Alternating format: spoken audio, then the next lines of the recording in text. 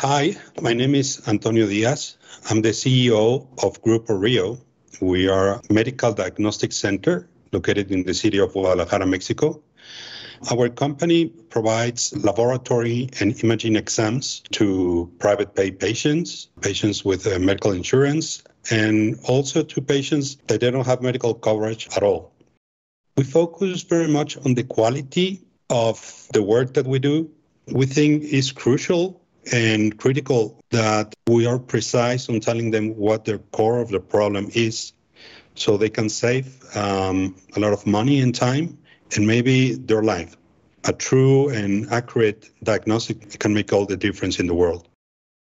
In the last year, we, we have served uh, different people coming from the States, Latinos, and got us wondering whether there may be uh, a large enough market uh, there that are not finding the right solutions for them. Somebody said that um, if there's a tail moving, means that there's a dog. So, in a way, I read that the people coming here is like the tail of the dog moving.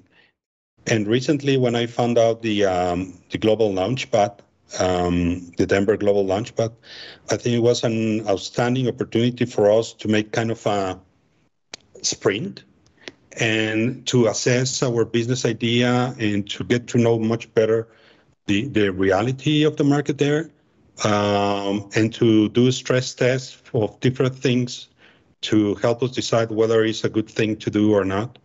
I recall when I was a child, um, I had the opportunity to, to see the Denver Broncos where when John Elway was playing there. And probably what got attracted me first to them is the the main color that they use in the uniform is orange. I always like orange.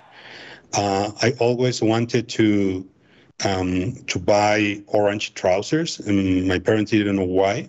And I guess when I saw the Denver Broncos wearing orange, I felt attracted. And then on top of that, I saw them winning twice the Super Bowl.